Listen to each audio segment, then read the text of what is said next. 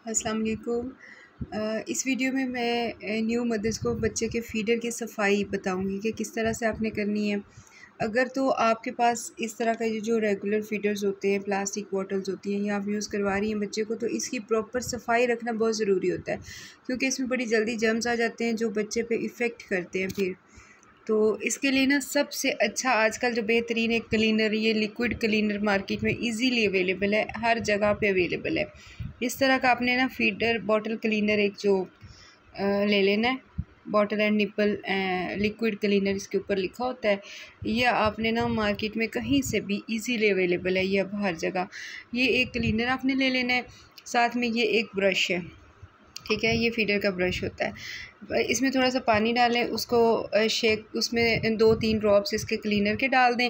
पानी डाल के उसको अच्छी तरह शेक करें, फिर ये ब्रश अंदर डाल के फीडर में अच्छी तरह से इसको ना साफ़ कर लें। फिर उस, इसी ब्रश की मदद से इसको बाहर भी ज़रा सफ़ाई इसकी अच्छी अच्छे से कर लें। इसका फ़ायदा ये है कि ये जो क्लीनर है ना, ये जर्म्स फ्री है। इसमें किसी किस्म के जर्म्स नहीं है। अगर एक वक्त में आप फीडर को बॉयल नहीं कर पा रही हैं या गर्म पानी से वॉश नहीं भी कर पा रही हैं तो ये बेस्ट है, इससे इसकी अच्छी तरह से सफ़ाई हो जाएगी और ये सेफ़ इन यूज़ हो जाएगा। फिर आप इसको बग़ैर बॉयल किए, बग़ैर गर्म पानी से साफ़ किए, इसको बच्चे को यूज़ करवा सकती है। बेस्ट वे तो ये होता है कि दिन में एक बार मतलब ट्वेंटी फोर आवर्स में एक दफ़ा लाजमी फीडर को हल्का सा बॉयल कर लिया जाए या फिर इसको बहुत ज़्यादा गर्म पानी से वॉश कर लिया जाए। गर्म पानी से ये होता है कि इसमें जितने भी जर्म्स बैक्टीरिया वगैरह अगर लग जाता है ज़्यादा हाथ लगने से या किसी जगह पे पड़े रहने से तो वो गर्म पानी से ज़रा डेड हो जाते हैं और इस तरह फीडर जो है वो बिल्कुल साफ़ सुथरा हो जाता है जर्म्स फ्री हो जाता है।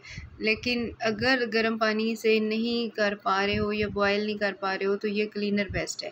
इस क्लीनर से फीडर की बार बार जब भी बच्चे को फ़ीड करवाया है, उसके बाद ये क्लीनर डाल के इससे पानी, इससे सफ़ाई करें। और फीडर साफ़ करके वो बच्चे को पिलाएँ, फिर वो ज़बरदस्त हो जाएगा, अच्छे से साफ़ हो जाएगा और सेफ़ हो जाएगा, इससे फिर बच्चे को किसी किस्म की बीमारी लगने का ख़तरा नहीं होगा। Thank you so much for watching अल्लाह हाफिज़।